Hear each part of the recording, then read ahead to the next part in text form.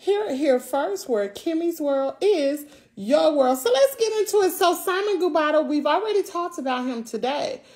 But you guys, Simon Guobadia is on a yacht. You see those glasses down below? Do you see that little piece of clothing? Now check this out. Now here is the piece of item in question. Now where I got this particular screenshot, I'm getting ready to show you. But this is indeed a lady that he is on a trip with. Now yesterday, she actually made a post, Get Bodied by Jay. Post seems real normal, real good, whatever. But look what who's in the comment area. Simon Guobadia is indeed in the comment area. But to make matters worse, let go let's go back to that piece of item, that clothing that we just talked about. Whose clothing is it? Well, she made another post 2 hours ago with this particular item of clothing, right? Simon Guobadia has already liked it. But where is she? Is that the item of clothing that we saw in Simon's video?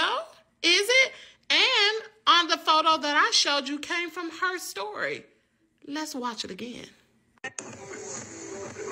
So she is on a yacht with someone. Sunset is so freaking beautiful. Now just pay attention. Look at the boat. Look at the yacht.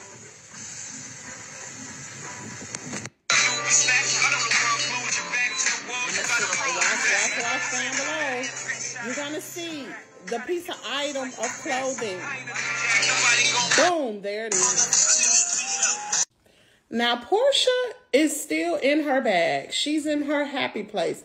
She said today, in case no one has told you today, good morning. You are special. You deserve the absolute best.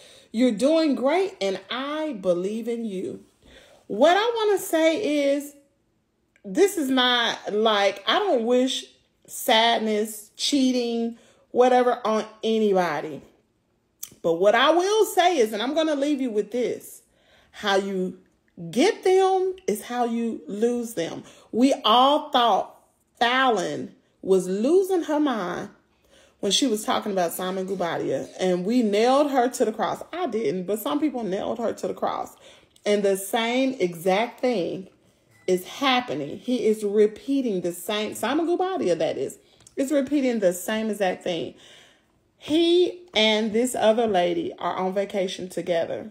And while he's on vacation with her, he is talking about his ex wife. Same thing he did to Falynn.